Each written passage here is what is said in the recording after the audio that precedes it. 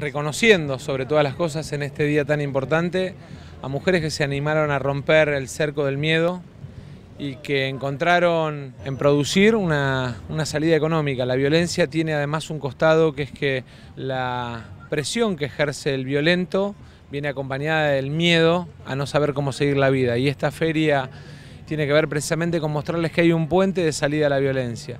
Obviamente que este tema debiera de resolverlo el Estado, nosotros creemos que es fundamental que haya pensión para las mujeres que son víctimas de violencia de género por 24 y 36 meses, de acuerdo a las posibilidades de salida laboral.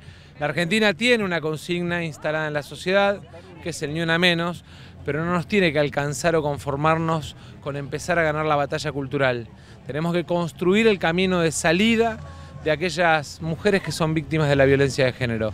El mensaje más importante que puede dar cualquier Estado, sea municipal, provincial o nacional, es el de construirles ese puente de salida. Una alegría estar acá con las mujeres emprendedoras, con los chicos de las escuelas que son parte del programa Cantando con Equidad, un programa en el que trabajamos básicamente la violencia en el noviazgo, pero además la deconstrucción de los estereotipos, el trabajo con los más chicos, con los más jóvenes, para que ellos puedan después vivir ellos y ellas juntos una vida sin violencia. Y además seguir promoviendo, seguir previniendo, seguir educando para que así tengamos que cuidarlas menos, para que las mujeres puedan cuidarse ellas.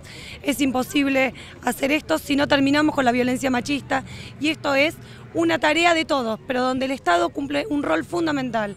Por eso nosotros, más allá de hoy estar acá y ponernos muy contentos, porque mujeres como Alicia hoy están, después de haber transitado el programa de mujeres emprendedoras, emprendiendo una nueva vida independiente, poniendo su propio local y en eso también la vamos a ayudar, pero además creemos que necesitamos que en los lugares donde se toman las decisiones en la Argentina haya más mujeres. De esa manera es como nosotros vamos a poder resolver todas estas cuestiones.